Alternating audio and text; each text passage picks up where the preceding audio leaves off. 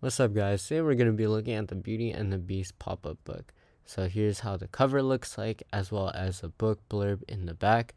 As you can see, really good artwork for the cover.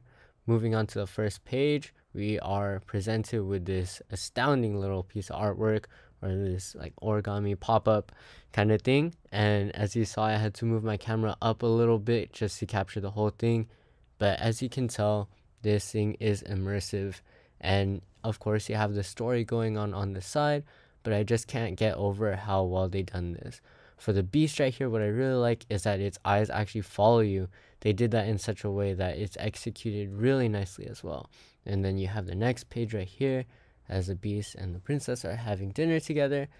Again guys with the immersion and the imagery i really like it so much.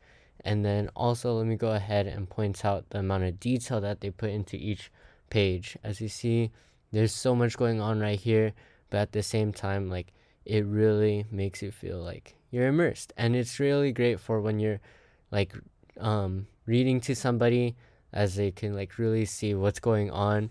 Of course, with the text on the side, and they did a really good job of like fitting in the text and mixing it in with the actual image.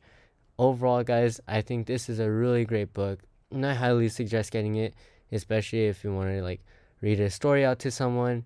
And overall, it's just a super solid book. And once again, I do highly recommend it.